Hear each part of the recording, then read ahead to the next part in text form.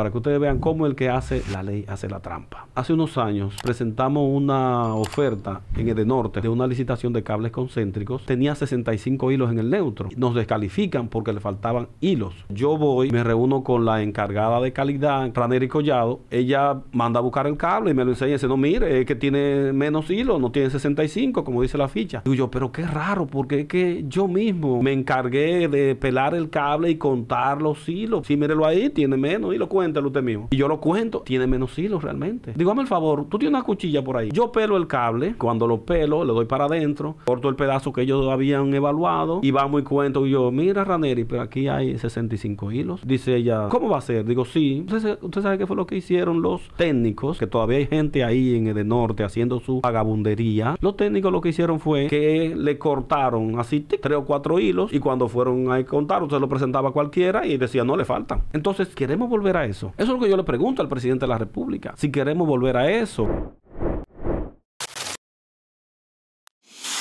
Bienvenidos a Somos Pueblo TV. Yo soy Eduardo Sánchez Tolentino, El Piro, agradeciéndole a todas las personas que siguen este canal de YouTube y a quienes colaboran con nosotros a través de patreon.com diagonal Somos Pueblo TV y nos ayudan a realizar este trabajo. Señores, el día de hoy vamos a poner la segunda parte de la entrevista que le hicimos a Francisco Rosario presidente de la Asociación SED de Justicia, quien fue sometido por Edenorte junto a nosotros por supuestamente difamar a Cueto, el director o administrador general. Él se va a referir a todo lo que tiene que ver con el aspecto técnico de las irregularidades en la licitación de 222 millones de pesos de cables que se le adjudicaron a una empresa que está siendo cuestionada muy seriamente. Veamos. ¿Qué es lo que ocurre? Que en esto tenemos varios elementos que hemos expuesto y tiene que ver primero con el aspecto técnico, el aspecto legal, que es la formalidad de la licitación. Esa es la formalidad, el que todo el mundo cumpla, el que presente sus documentos y desde el origen hemos demostrado también que Edenorte procede a descalificar a todo el mundo. Es decir, a todo el mundo. Y cuando se revisa la documentación y los por qué de la descalificación de todos los demás oferentes, nos encontramos que da razones similares a la que no cumple, o entre comillas, no cumple la empresa que sí ellos intentan beneficiar. Entonces ahí comenzamos a evidenciar que no se trataba de incumplimiento, sino de una descalificación. Y ese es el modus operandi que se utilizó en el pasado en las mafias que dirigían Edenorte y las demás distribuidoras.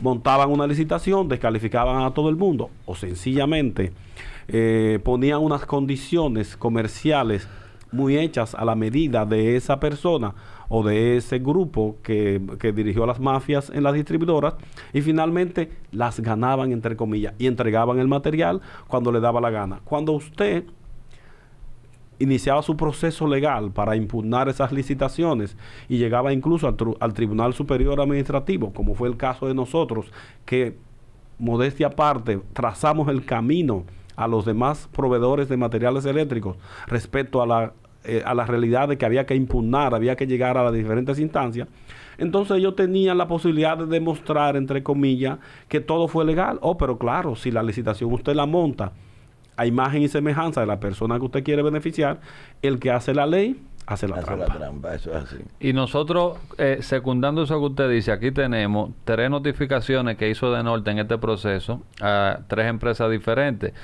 junto a las certificaciones de cada empresa. A mí me llama la atención que a la empresa que le adjudicaron tenía el certificado de ISO en el momento que le adjudicaron vigente, pero hay dos más que también la tenían vigente y se le pone que estaba revocado. Cuando el comité de compra lo analiza, le ponen que estaba revocado no entiendo cómo algo puede estar revocado. Si se presentó oferta, ¿qué día fue que presentaron la oferta? El 11 de, de mayo.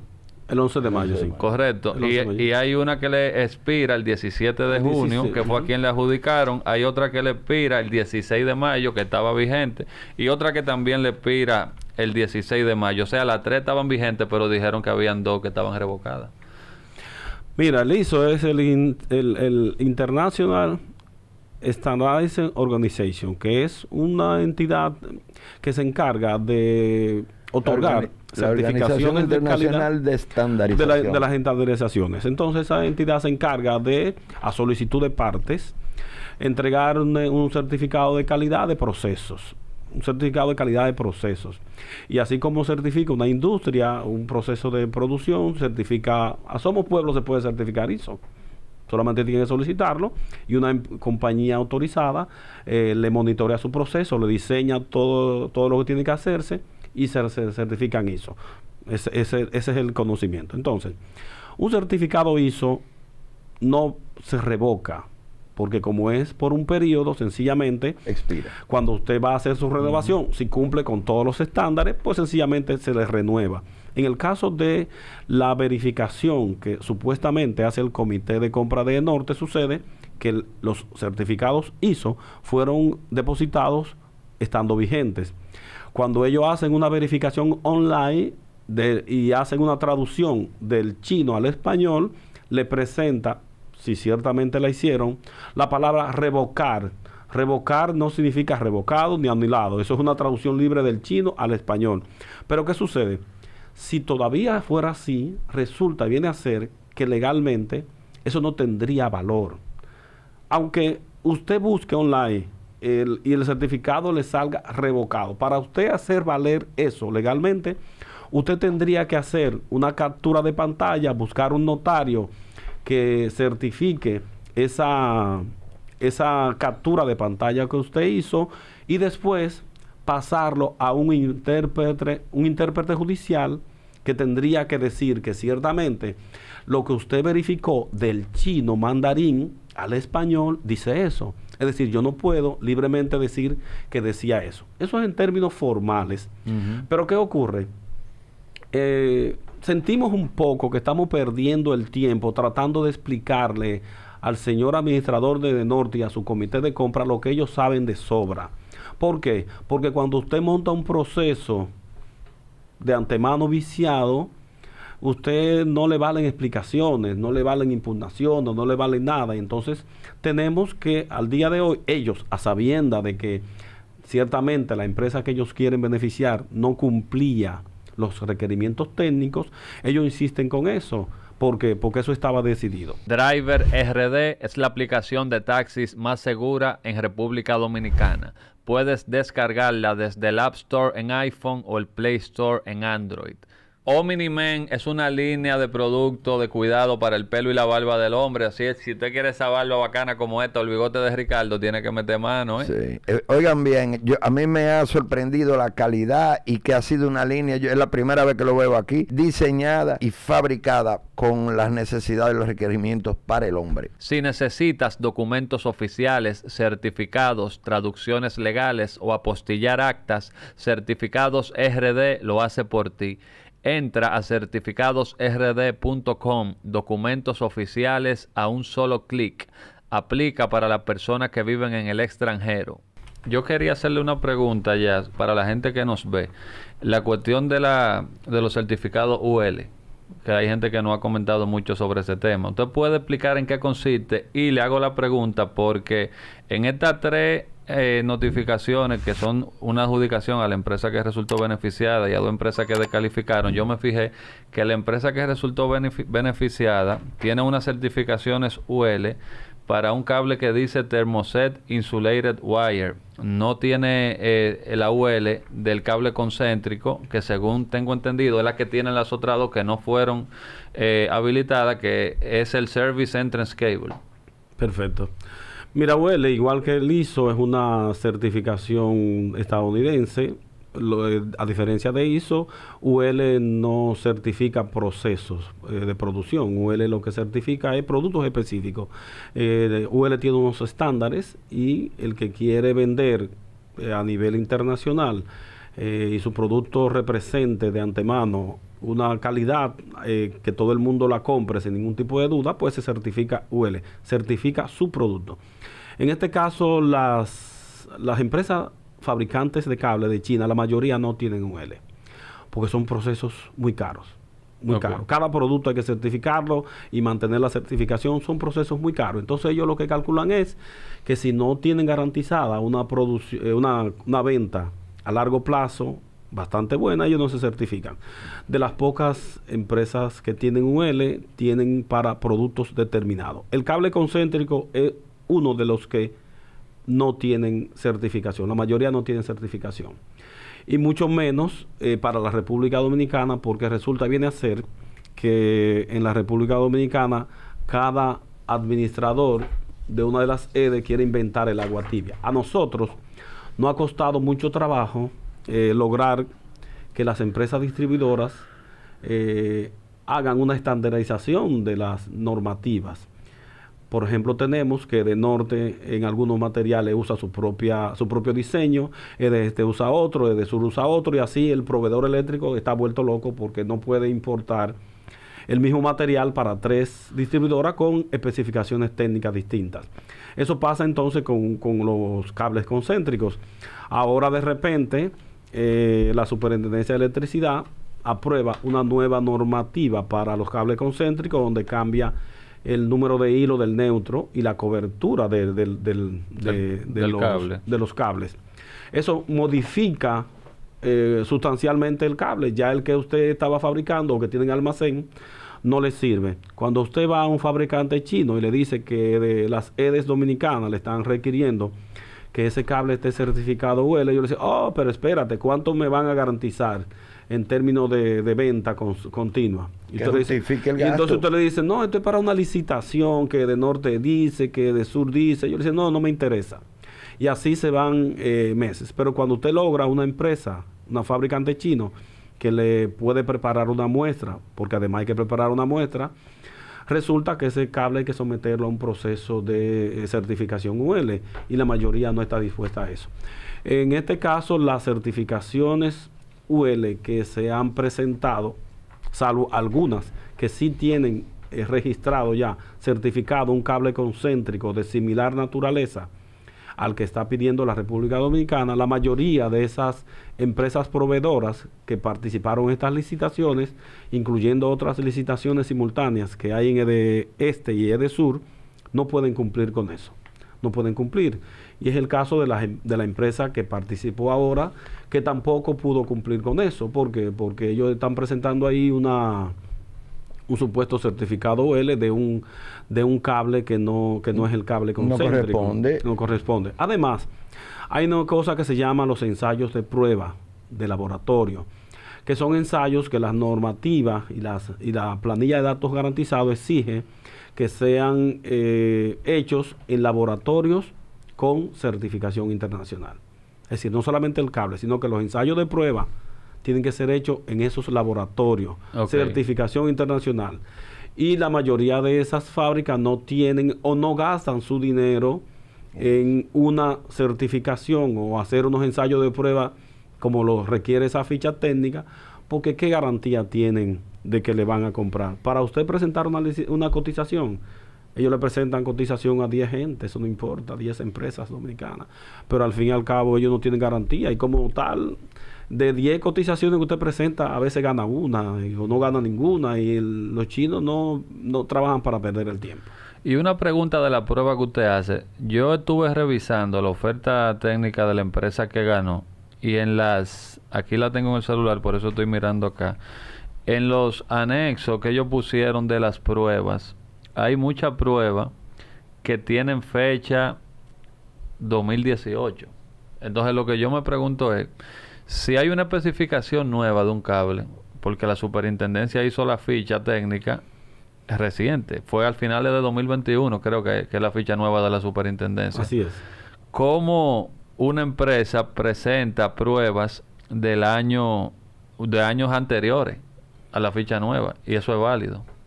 Mira, en este caso lo dan como bueno y válido porque como les comenté desde el principio, estamos frente a un proceso que fue armado eh, para que tuviera esos resultados. A ellos poco les importa lo que presenten.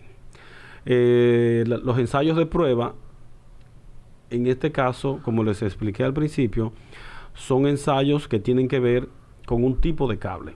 Okay. Si usted tiene una certificación UL para un cable triplex, por ejemplo, hay un modelo de ensayo de pruebas.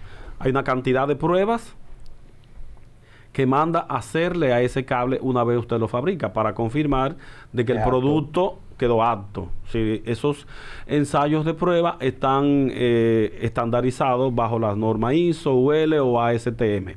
Entonces esas, esas pruebas están establecidas ahí. Cada fábrica le hace esas pruebas. En el caso del concéntrico, si usted tiene un certificado UL para un cable concéntrico estándar internacional, sobre todo si es un cable que se vende en Estados Unidos, como el caso de la fábrica Qingdao que tiene un certificado UL para vender en Estados Unidos. Ese no necesita más, nada. Que a eso fue lo que dijeron que no, que a lo que descalificaron, a lo que tenían. A lo que tenían Qingdao. es decir, entonces, usted descalifica a Qingdao, que es una de las pocas fábricas de China que tiene certificación UL real. Eh, y en ese momento, usted le solicita a Qingdao un material nuevo, como es el caso del cable que está pidiendo la República Dominicana por la planilla de datos garantizados o especificaciones técnicas que ha armado la Superintendencia de Electricidad, entonces Qingdao toma ese cable, lo fabrica y le hace un modelo de ensayo de prueba acorde con lo que está requiriendo la República Dominicana. Pero Qingdao tiene la certificación UL, tiene la experiencia y tiene el laboratorio. Una marca aprobada. Exacto. Tiene el laboratorio eh, autorizado con reconocimiento y certificación internacional. Entonces, ese puede presentar una muestra de ese tipo. ¿Por qué? Porque tiene la experiencia y la certificación. Pero una vez Qingdao, por ejemplo, fabrica una cantidad de cables para cualquier empresa eh, que, que se lo haya solicitado, esos cables se someten al estar fabricados otra vez a los ensayos de prueba correspondientes. Entonces, como les decía ahorita, nosotros tenemos bastante tiempo bregando con todas las distribuidoras para que se estandaricen las normas y todas las distribuidoras compren lo mismo. Eso nos evita el problema que le planteé al principio. Pero no ha habido manera, no ha habido manera. ¿Y por qué no ocurre eso? Bueno, es que tenemos la cultura en el Estado Dominicano de que cada funcionario quiere reinventar el agua tibia porque eso es lo que le da la oportunidad de ir a lo turbio a lo opaco, a lo gris. Lo que, lo que está preestablecido no da mucha oportunidad, no da margen a las maniobras, al fraude. No, les encanta lo turbio, lo opaco. Y esa ha sido nuestra lucha en los últimos años eh, en el sector eléctrico, que todo esté de manera transparente, que todo esté normalizado, que todo esté bajo un solo estándar que no tengamos cinco tipos de crucetas para tres distribuidoras, que no tengamos un cable eh, de este tipo, pero de norte compra otro, de este compra el otro. Por ejemplo, eh, ha, ocurrido recientemente, eh, de este lanza una licitación que fue simultánea con esta de norte, pero entonces en esa misma licitación pide el cable concéntrico 6.3 con dos tipos de fichas. Estaba la ficha vieja y la nueva. Y la nueva. entonces el, importador que trajo material nuevo y lo tiene en almacén está vuelto loco. El que tiene del viejo está, vuelto loco. Porque sencillamente no ha habido manera. Ahora, y para que usted vea la variación de precios, que es falso, porque eso están alegando los abogados de cueto de que la ficha vieja, tienen dos fichas diferentes, la vieja y la nueva, y tienen el mismo precio de referencia. Es el mismo material, es decir, la misma composición.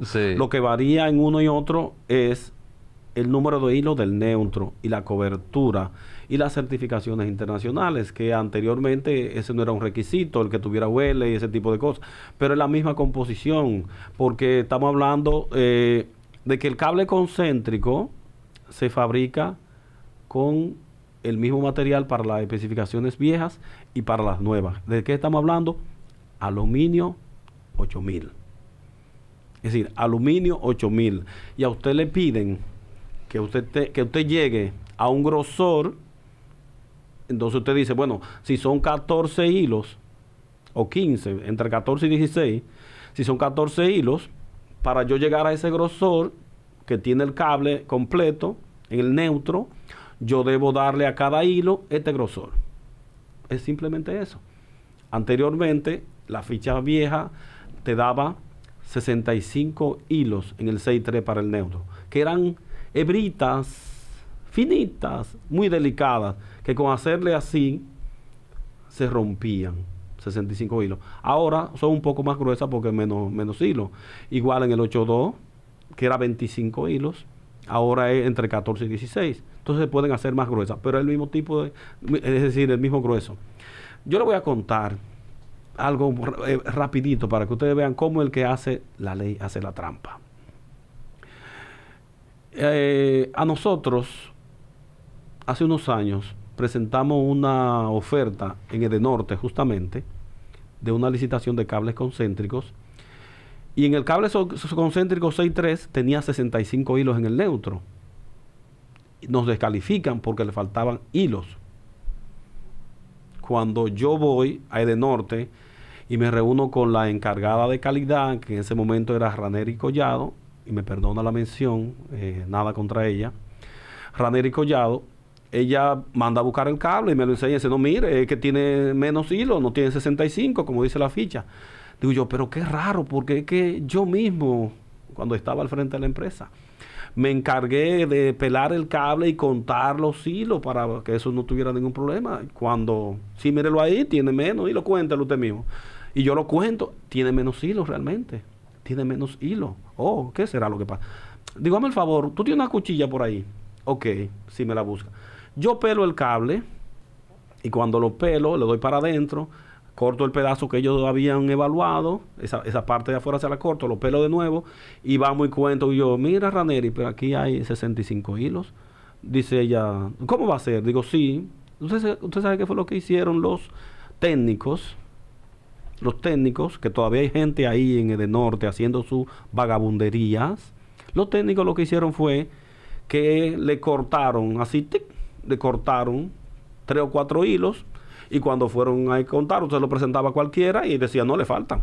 Le falta, le cortaron. De lo que salían, pero adentro estaba igualito. sí, afuera de lo que salían. Entonces, cuando usted ve ese tipo de vagabundería, usted dice, no, pero es que no puede ser. No podemos quedarnos callados frente a este tipo de cosas. Eh, no podemos, en función de querer proteger intereses particulares, eh, quedarnos callados y tolerar todo esto. La mayoría de los proveedores eléctricos eh, tienen la dificultad de que al comercio, al empresario, al comerciante, no le gustan los conflictos, no le gusta la opinión pública, no le gusta estar denunciando. Eh, y por eso no lo hacen. Pero no es porque no estén, hayan sufrido lo mismo. Con la mafia que se instauró del 2012 al 2020, las empresas distribuidoras, todos los grandes distribuidores, los tradicionales, sufrieron con eso. Incluso eh, hay muchas empresas que no volvieron a vender a las EDES. Muchas empresas, que no menciono los nombres porque no, no, es el caso, pero sí se, le podía suministrar a cualquiera que lo, que lo requiera. Si el presidente de la República pidiera, enséñeme cuáles son las empresas que dejaron de cotizar en las EDES por la mafia que fue montada ahí, yo le puedo eh, eh, presentar una lista de las principales empresas que dijeron no volvemos más a las EDES, porque eso es un relajo, es una mafia. Entonces, ¿queremos volver a eso? No. Eso es lo que yo le pregunto al presidente de la República. Si queremos volver a eso, si él va a dar la oportunidad de que tengamos que volver a la denuncia, de que tengamos que volver a los sometimientos, de que tengamos que volver a que nos sometan a la justicia un funcionario incapaz, que no, es, que no puede ni siquiera mantener la operatividad de su empresa, nos somete a la justicia a ustedes que están haciendo un trabajo formidable, que no han hecho más que escudriñar. Y yo hubiera estado feliz si yo hubiera sido el que le, el que le pongo en sus manos cualquier documentación, porque tampoco tengo que esconderme de nada.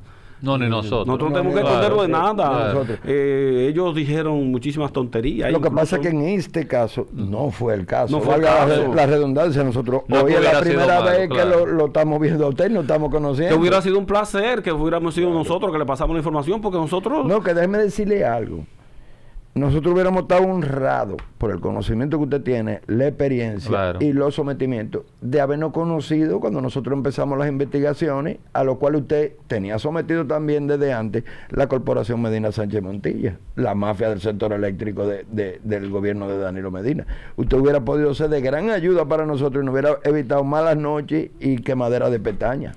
Ciertamente, porque como ustedes han dicho, el desde que uno comienza con este tipo de denuncias, eh, vienen solicitudes para que uno hable. Entonces yo he estado negado a esto porque lo que más me incomoda es que gente sin conocimiento trate de establecer de que uno se está moviendo por algún tipo de interés. Sí, yo tengo interés. Yo tengo dos intereses. Un interés particular que tiene que ver con mi participación de 23 años en el sector eléctrico y no lo voy a abandonar por nada, ni por nadie, ni por Cueto, ni por nadie. Entonces, él, debió decir más cosas respecto a mí en relación a mi vínculo con el sector eléctrico, porque eh, lo que pasa es que se fueron por eh, eh, acciones de mucha bajeza, no típicas, no adecuadas para un funcionario, mencionar a mis hijas, eh, incluso presentar hasta de nacimiento, ese tipo de cosas que son delitos eh, penales, son delitos eh, porque él está poniendo en riesgo la integridad de personas. Incluso eh, él debe tener, y parece que sí, que tiene una cantidad de desaprensivos en su empresa que comienzan a querer tomar partida en el asunto. Entonces el señor Cueto se está responsabilizando, y yo lo estoy responsabilizando de cualquier acción de uno de sus desaprensivos en contra de ustedes como somos pueblo y en contra de nosotros, porque sencillamente eh, ese no es el comportamiento de un funcionario. Yéndonos a lo que importa, como les dije, aquí lo que debe ocurrir es que el pueblo dominicano no sea estafado con una adjudicación fraudulenta e irregular y que no nos desviemos de lo más importante, la tarifa eléctrica y el servicio que de norte no le está prestando a los clientes de la región norte. Hay gente echando fuego porque tiene apagones de 24 La gran horas. mayoría. ¿eh? De 24 horas, de 18 horas, de 14 horas. Y no solo en Santiago. En la región norte. en la región. En la región. Y mientras eso ocurre, facturas elevadas. Y mientras eso ocurre, una empresa sin dirección. y, e incoherencias como un aumento en el consumo kilowatt hora cuando lo que ha aumentado son los apagones, la falta del servicio, como si yo tengo menos energía, me va a aumentar el consumo kilowatt hora. Por supuesto. Entonces, eh, si él quería lanzar una cortina de humo con este bulto, eh, movilizando a 200 militantes del partido, llevándolo a un salón, brindándole picadera para que hicieran cosas. Eso no va con nosotros. La caja no- plástica. la caja sí son ridiculeces, porque realmente me- a mí me indigna como persona, como ciudadano dominicano, me indigna ver que el presidente de la República tolere ese tipo de ridiculeces. No más de ahí. Que el presidente de la República tolere ese tipo de ridiculeces, porque un funcionario debe tener como la estatura, como el feeling, el perfil, ¿verdad? Para, para lo que se le, lo, lo que se le, que se le contrata. lo que se le contrata. Es decir, usted no puede poner a administrar la principal empresa de la región norte a personas que vocean como que están en una gallera, que se presentan con ese tipo de espectáculos deprimente, ridiculeces, Sin base ni sin base, fundamento. sin fundamento. Eh, no, no se vaya a eso. Mire, presente, demuestre. Primero demuestre que usted no tiene intención de defraudar al Estado, que todo estaba bien. Demuéstreme. Y si usted lo quiere demostrar, comience con decir, este precio sobrevaluado, nosotros no lo vamos a pagar.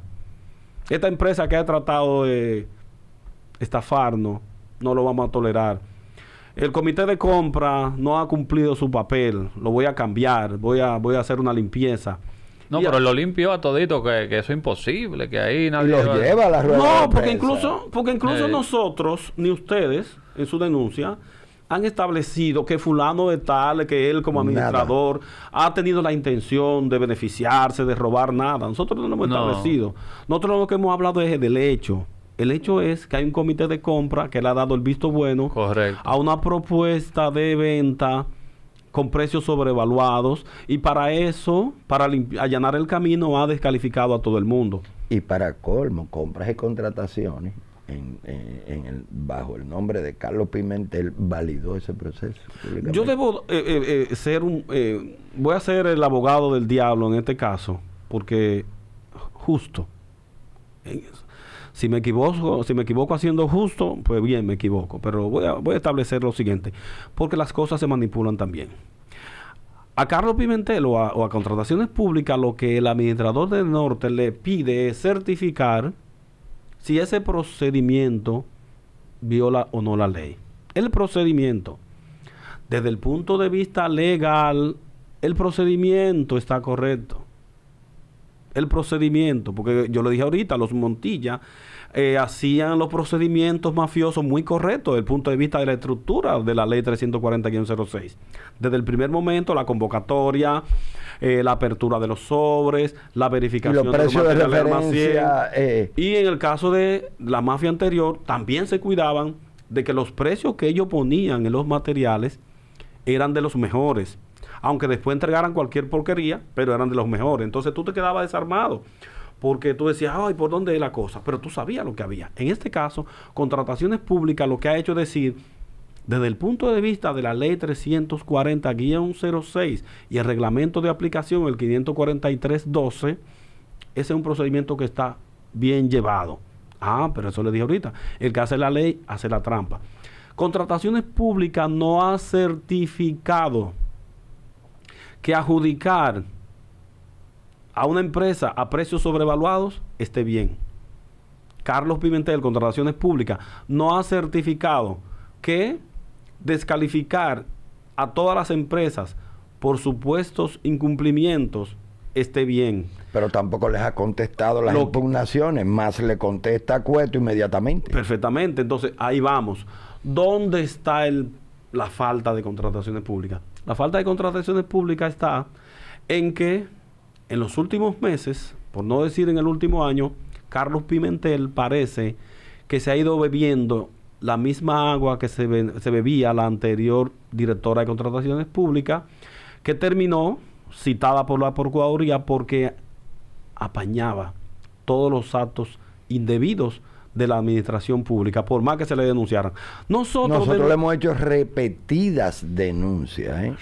entonces, Caso Carlos Minso. Pimentel está apoderado de varias denuncias de nosotros como sede de justicia. ¿Le ha contestado? Y no la ha contestado. Y A alguna la- tampoco. Y está apoderado de varias impugnaciones respecto de esta licitación. Y no ha respondido Y tampoco. no la ha respondido. Con cosas esenciales. A eso que Es yo me refiero. Entonces ve, como una yo- cosa en su lugar y a otra eso cosa que- en su A lugar. eso que yo me refiero. Entonces, Pero es que usted es cómplice por silencio y omisión. Exacto. ¿Qué es lo que él está haciendo? Exacto. Entonces, ¿qué le ha pasado a Carlos Pimentel? Yo creo que está bebiendo el agua de la anterior directora.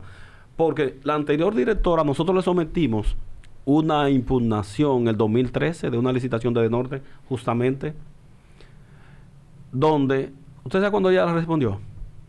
En el 2018, cinco años después, diciendo que teníamos la razón. Pero ya no había nada que hacer. Y así ese era el estilo. A los cinco años dijo, sí, es verdad, ese de Norte. Y entonces le manda una carta a Edenorte eh, sugiriéndole que cambien los procedimientos. Ese fue todo su accionar. Que cambien los procedimientos, cinco años después. Otro- Entonces, Carlos Pimentel está bebiendo de la misma agua porque las impugnaciones de este tipo de licitaciones que tienen, que están rodeadas de un escándalo público, él no puede ir a responderle a Andrés Cueto lo que Andrés Cueto quiere que le respondan rápidamente en 24, 48 horas para él acomodar su expediente Eso deja mucho que y a los proveedores que impugnaron todavía no le ha respondido nada. Nada. Entonces, como usted dice, puede ser que haya alguna complicidad. Y Yo- eso va a tener que explicarlo. Sí, y nosotros lo invitamos a él que venga aquí. Le vamos a hacer una formal invitación por escrito para que tratemos este tema y otros que se han quedado, en- han caído en un hoyo negro. Bueno, muchas gracias y también agradecer a las personas que siguen este canal de YouTube, Somos Pueblo TV, dándole también la gracia a todos los que colaboran con nosotros a través de patreon.com, diagonal Somos Pueblo TV y nos ayudan a realizar este trabajo.